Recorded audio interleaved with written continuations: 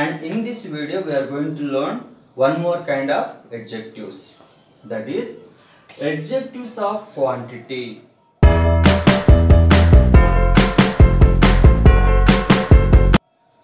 Now what are adjectives of quantity?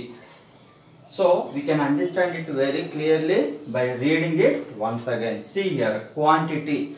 The adjectives that tell about quantity are called adjectives of quantity. So that's why i have written here these show the quantity of a thing or substance or an abstraction. What is that abstraction? See abstraction means uh, which we can't see touch but we feel. Abstract noun we learnt so in the same way abstraction ideas we have abstraction things we have. So to refer those also we use uh, adjectives of quantity. Now let us try to understand by looking at the examples. Now first one we ate some food.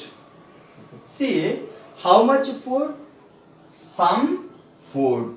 So here some is a quantity. Some is a quantity. Second one he has sufficient time to complete his work. See how much time? Sufficient. So that's why again here sufficient is adjectives adjective of a quantity. Then third one i don't have much money with me again even in this sentence how much money? How? So much much money uh, with me. So that's why much is an adjective of quantity. Then fourth one she has little intelligence. See try to understand this sentence here. She has little intelligence intelligence is as i have written there it's an abstraction. We can't see anybody's intelligence. So that's why it, it's an ab- abstraction. So how much intelligence?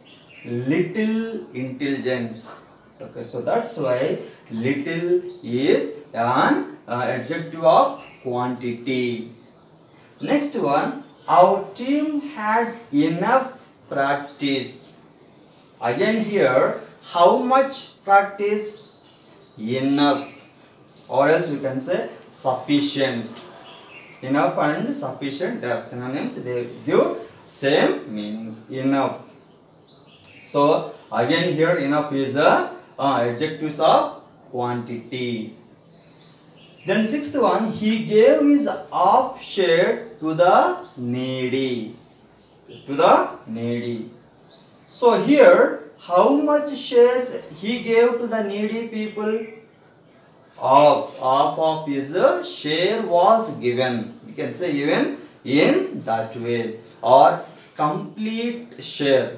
Or else the quarter share. So in this way we can say uh, all these things. Okay next one. Seventh one.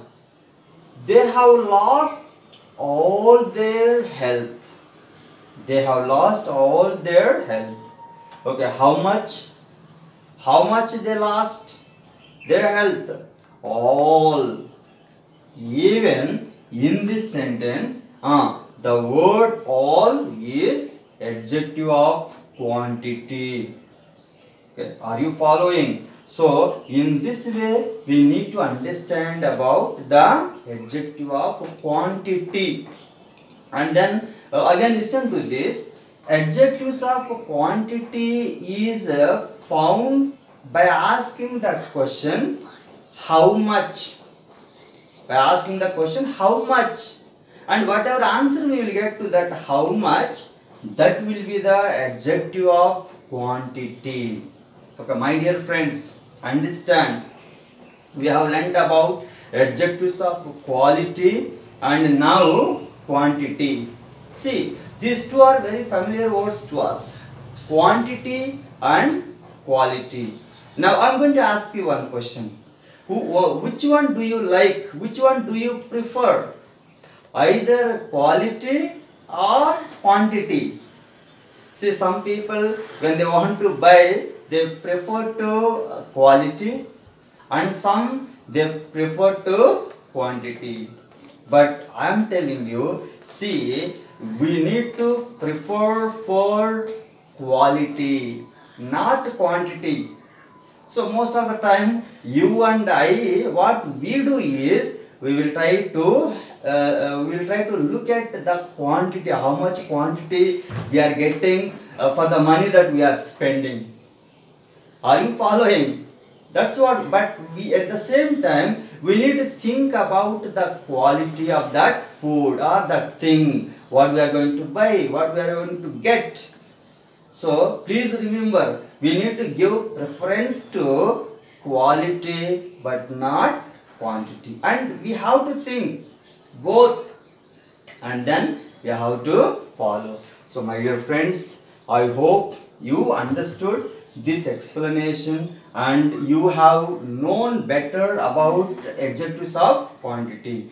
So keep on watching my videos and if you like this video please subscribe this channel and share it to your friends so that they will learn and they can also be a, uh learners. So thank you very much for watching this video